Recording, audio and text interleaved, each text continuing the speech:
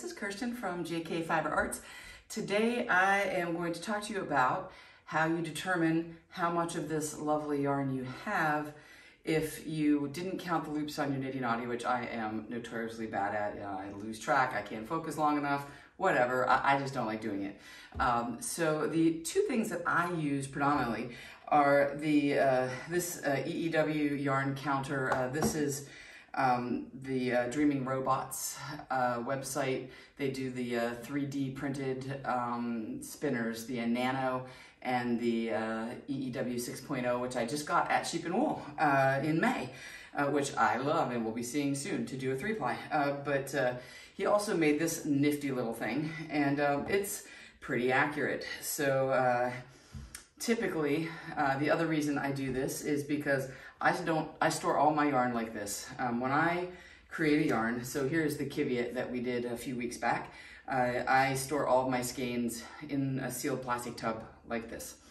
Uh, and I label it. Uh, and typically I don't put the yardage on it. I'll just put the ounces and um, the uh, WPI and the fiber and how I spun it. Uh, and um, when I wind it, I will usually run it through my yarn counter. Now that's great if you are pretty darn sure that you have enough yarn for your project.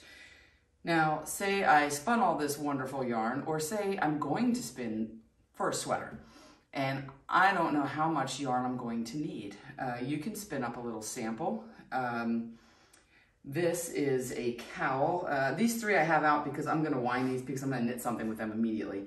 This is number one up to do. Uh, this is that purple bat that we did, the, the purple smooth bat during TDF. It's a, a, progressive colorway. And it is the one that has my hand processed alpaca in it and merino and that yellow um, uh, Eri peace silk. I want to know if I have enough to do a particular pattern. I did not count my loops on my Niddy Noddy because, you know, that's the way I roll. Uh, so there are two ways to do this. One is I just wind it through my yarn counter and see. uh, the other, before I wind it and then realize I can't use it for that project, uh, is um, to uh, do something uh, called calculating grist. Uh, and I did go through that in great detail uh, uh, when the um, I did the video spinning a self-striping yarn and it had the alpaca uh, and I went into it in great detail and everybody's eyes glazed over and said oh no math. Um, but math is kind of important. But I have a easier way for y'all.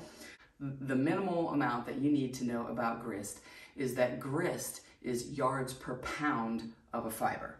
So if I have a pound of this and I know how many yards it is, then no matter what amount of this I have, I can tell you how many yards. I can throw say, oh, well, if one pound of this is 5,000 yards, wait, let's make the math easier. If one pound of this is 100 yards, and uh, I put this on the scale, and I have uh, eight ounces. So that's a half a pound. Uh, that would be uh, 50 yards. Um, so takes the math down to super basic. Uh, so basically this little magical device here is a shortcut to skip almost all the math. Uh, this is called a McMoran yarn balance. Um, some of them call them a yarn scale. Uh, and I, uh, you can make these yourself. Um, I did some research on it and decided, nah, I didn't want to spend my time doing that.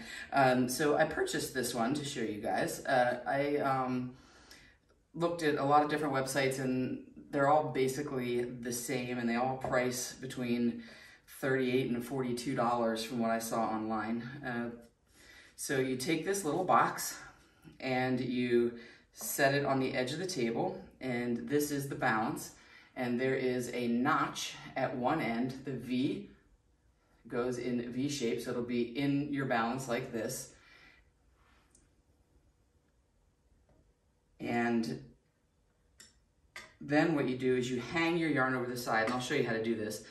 And you want this to just balance. So when this balances level with your piece of string, your piece of yarn on it, then you take that piece and you measure it on your ruler and then you take the number of inches and then you multiply that by 100 and that will give you the number of yards per pound that you have.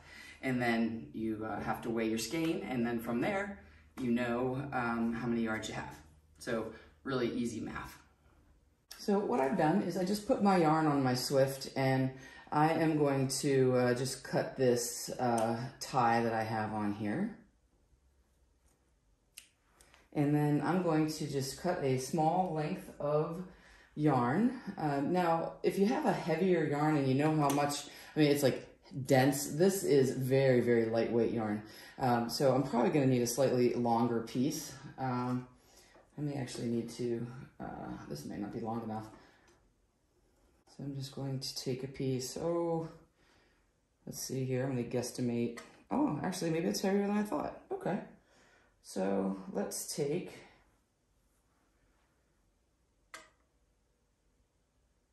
and see if this much will do it.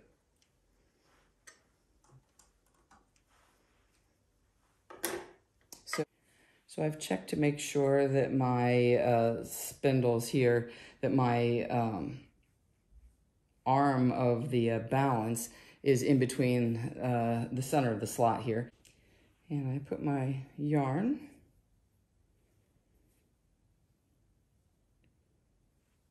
loop side in that notch on the balance. And then I start trimming off a little bit here and there. And you want to try to trim the uh, two ends the same.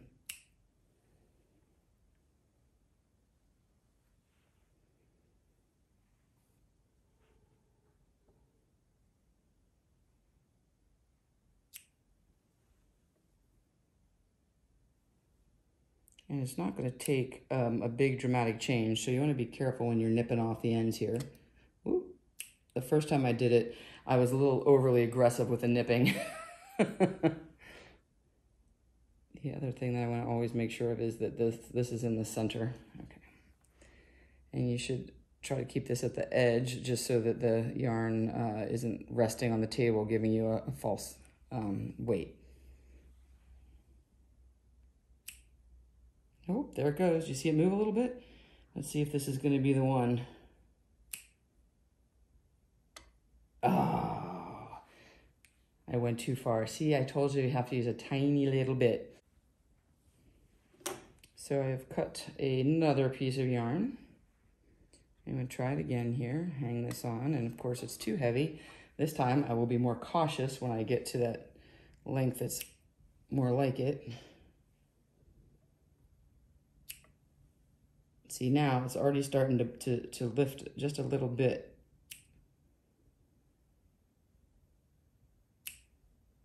Oh, it's almost there. I'm the least patient person in the world. There we go. And that is balanced. Ta-da! So now all we have to do is take this over to our ruler Pardon me, Erlene. And I'm going to measure the length of this piece. So this is, and you don't want to stretch the yarn when you're measuring it. So we're just going to lay it right at that first line and right here and that is nine inches on the nose. And you want to be accurate with this because, uh, you know, it's doing a calculation over a larger amount. So nine inches is the number. The uh, calculation then would be um, nine inches times 100. So there would be 900 yards in a pound of this. Next, I'm going to see how we compare with the yarn counter. So here is the yarn counter, and what you need to do for this is uh, you just turn the power on. Um, it's magnetic too, so if something goes crazy, it it won't um, pull off the table. It'll if it gets tangled, it will uh, just pop the uh, case off and it'll stop. Pretty cool. Um, it has uh, a menu here you can choose. So this says yarn WPI 15 is what I had um, the last one set at. Uh, this is not a 15. But for the most part, it's a worsted weight. So uh, I'm gonna call that a nine. And let's see what they have on here. So there's pre-designated um, numbers.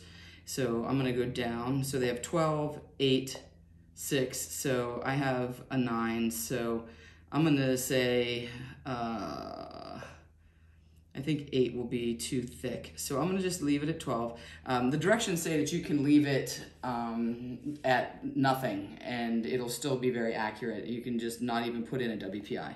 So let's test that theory. uh, and then um, go back to the menu. You can select uh, your units. You can do it in yards or meters. I do yards. So now you want to make sure, in order for it to be counting, you have to be on this home screen that says EEW yarn counter 0.0 yards. That means it's ready to go. So I am just going to uh, anchor this down to my table. I'm just going to bring this around this yarn counter and all that involves is just wrapping it through this coil and then um, it goes up over the top here. There's a little uh, ridge in this wheel and then I just ring it through like that. I'm gonna bring it over to my uh, yarn baller. And all I did was I brought my yarn over to the yarn baller uh, and put this here. And uh, now we should be in business. And there we go. And I'm just gonna wind.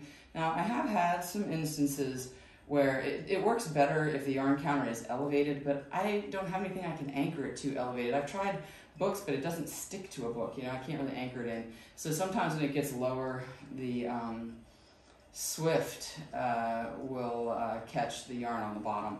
Uh, let, us see if I get lucky on this one. So now I'm just going to wind, and uh, we'll see uh, what my yardage is at the end and we'll compare it to the yardage from the uh, McMoran yarn balance.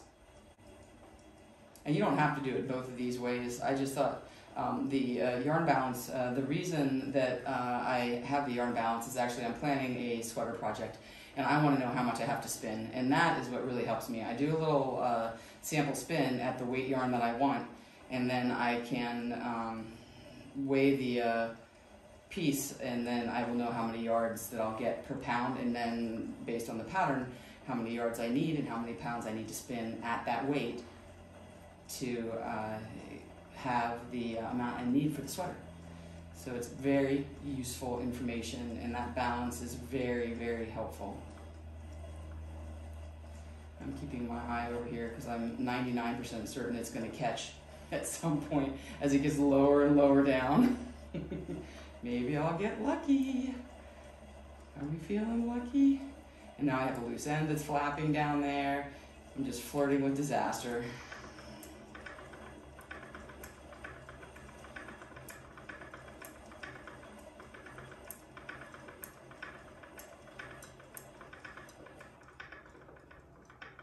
All right. And this says that I have 171 0.1 yards. So we're gonna do some uh, basic math. You still gotta do some basic math, but it's not terrible math. Uh, so uh, what we do is set up a proportion. Um, and we know that we have uh, 900 yards to 16 ounces, which is one pound. And I just converted it to ounces because I only have three ounces of yarn. Oh, my, uh, sorry, my ounce looks big and makes that look like a 30. That's a three. So it would be three ounces of uh, fiber, which is how much my, my uh, skein weighs. Uh, well, now it's a yarn ball, how much my yarn cake weighs. Um, so uh, now you just cross multiply. So you would just have 16x, and then 900 times 3 is 2700. And so x, which is the yards that we're looking for, is now 2700 divided by 16, which I asked um, the device that should not be named in my house for the answer. And that is uh, 168.75 yards is how much I have here according to the yarn balance. And as we've already determined, according to the yarn counter, it is 171.1 yards.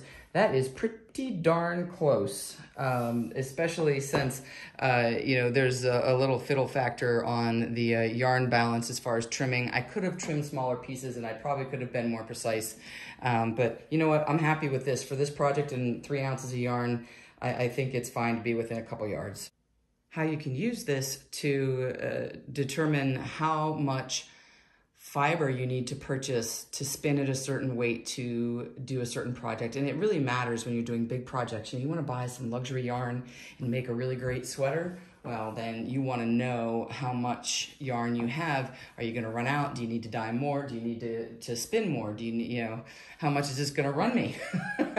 um, and, and that is the value of this. Uh, and I've also demonstrated that my yarn counter is accurate, which I already knew because I had already done a bunch of tests with it.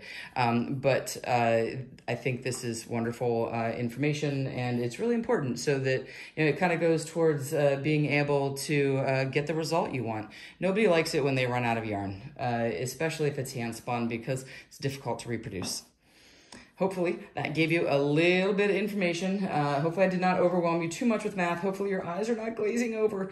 Um, and uh, hopefully you'll find this useful in planning your future projects. Don't be afraid to spin for that sweater. I wanted to show you, uh, based on the uh, McMoran yarn balance, what I have done. So I decided to do this project. I uh, knew that I had enough yarn. Uh, I am on the fourth of seven uh, repeats, and I'm about halfway around. Here's my marker. So uh, I don't have any uh, concern that I'm not going to finish this. I'm going to have um, the right amount of yarn. Uh, isn't this a cool pattern too? Uh, it's so soft. Uh, I didn't want to uh, do an entire video full of nothing but sciencey, mathy things without any fibery goodness. So here is that soft bat um, with the, um, the hand-processed alpaca, and I think that Loretta is going to love this. It, it, I know that it's a good one when I think I wish I could keep it for myself. Uh, so um, uh, here it is, uh, and if I think about it, I will show it when it's totally finished and lightly blocked, but it, it does just a spiral uh, repeating uh, swirl pattern uh, cowl. And I think that's gonna look really cool. You can see the progressive uh, colorway here. We started with the darker and then it's starting to get into the lighter purple and then it's gonna fade. And at the end here, we have the very light purple and uh, the white of the pure alpaca and the yellow silk. I think this is gonna be so pretty. Um, so there you have it, functional use of the McMoran yarn balance in uh, making a decision for a project. Uh, so I will uh, see you guys soon. Uh, I do have some upcoming things. Um, number one, Fractal Spin was the winner, and I already have, a little sneak peek here, I already have the uh, three plies done, and that video is ready. I was going to try to put it all up at once, though. Um, and in between there, I started spinning the collaboration with uh, Kim from Fairly Fiber Fun, where we traded traded the art bats, and uh, I got really excited and I jumped to that. So I think what's going to happen is uh, I'm at the beach this weekend, so uh, next weekend I am going to do the uh, Fairly Fiber Fun. And the weekend after that, I will have the fractal up, and uh, and then I don't know what's going to happen because I will be in Ireland for two weeks. Maybe I'll do something live from Ireland. That would be super cool. We'll see how it works out. Um, but uh, I will uh, hope you guys all have a great week, and I will uh, see you soon. Until next time, spin happy.